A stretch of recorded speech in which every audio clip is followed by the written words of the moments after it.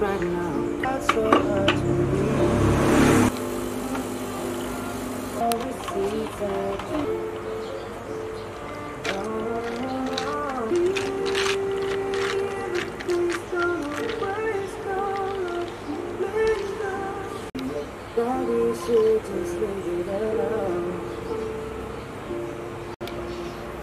ส่วนเมนูนี้นะครับก็คือเมนูชาไทยโกโก้ เป็นหนึ่งในเมนู signature ของที่นี่ เพราะว่าด้วยความที่เราใช้ชาใต้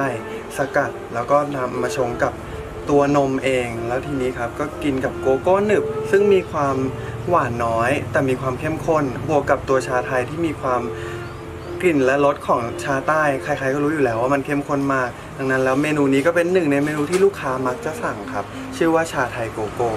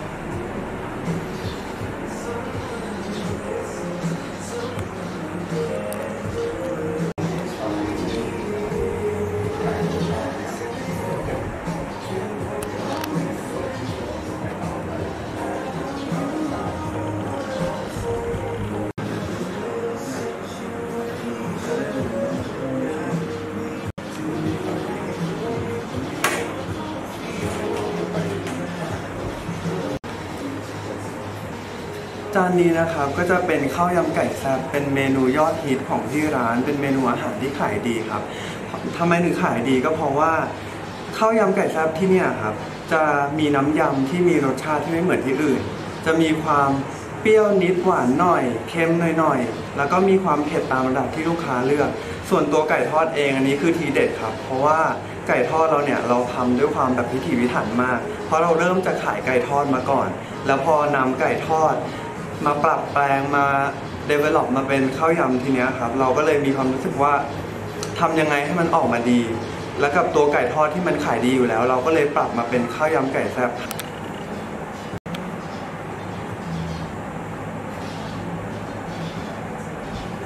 นี่จะไม่พูดได้ สวัสดีครับ ผมชื่อชิสนุพงษ์ไส้เพชรครับ เป็นเจ้าของ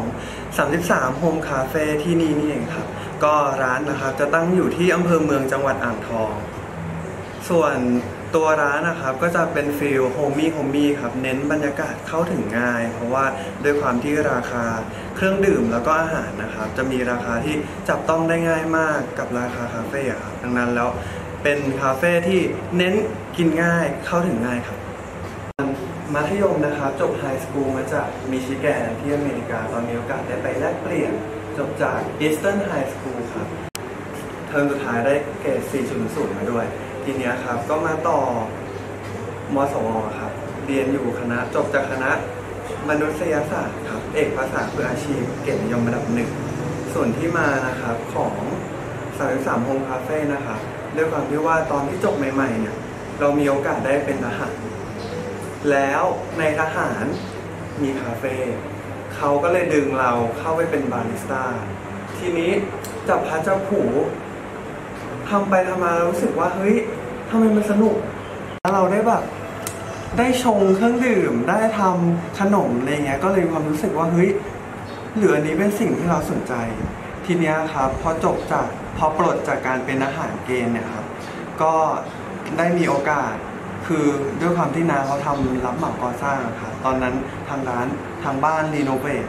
นาก็เลยมีความรู้สึกว่า เอ๊ะ ข้างหน้ามีพื้นที่เหลือ เราก็ทำเป็นคาเฟ่ซะเลยไหนๆหลานก็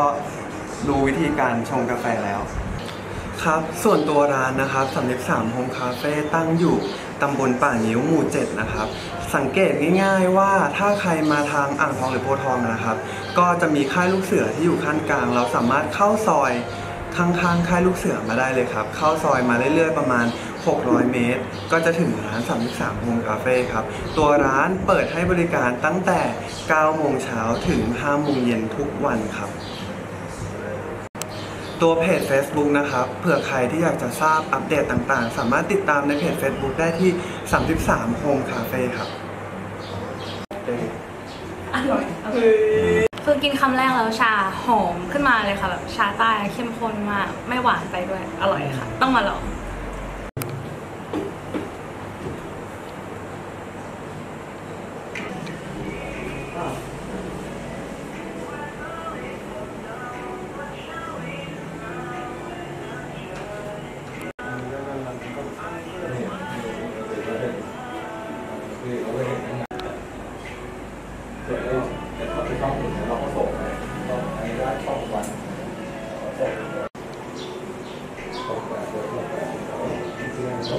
ค